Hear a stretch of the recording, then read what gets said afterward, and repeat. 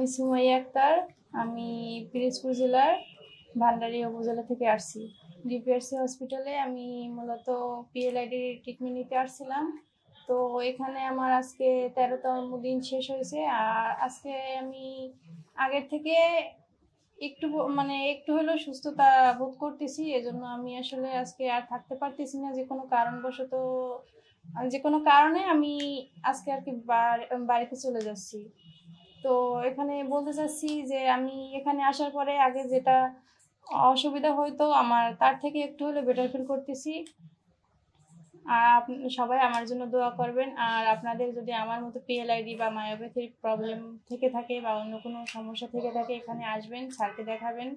স্যারের সাথে কথা বলবেন। স্যার অবশ্যই ভালো একটা পরামর্শ দিবে। আর স্যারের কাছে চিকিৎসা নিলে আপনারা সবাই উপকৃত লাভ করবেন। আমি এটা আশা করি। আর এখানে যারা স্টাফ আছে থেরাপিস্ট আছে, সবাই অনেক ভালো। আমরা জানি আপনার প্রিয়জন আপনার জন্য কতটা গুরুত্ব বহন করে। প্রপার ডায়াগনোসিস কনসালটেশন পেইন ও প্যারালাইসিস চিকিৎসা, পুনর্বাসন আমাদের সব আয়োজনে সব সময় আপনাদের জন্য চব্বিশ ঘণ্টা খোলা। আমরা চাই না আপনারা বারবার আমাদের কাছে ফিরে আসুন তবুও আমরা আছি সব সময় সর্বদা আপনাদের পাশেই। ডিপিআরসি হসপিটাল লিমিটেড আস্থা বিশ্বাস ও নির্ভরতায় অবিচল।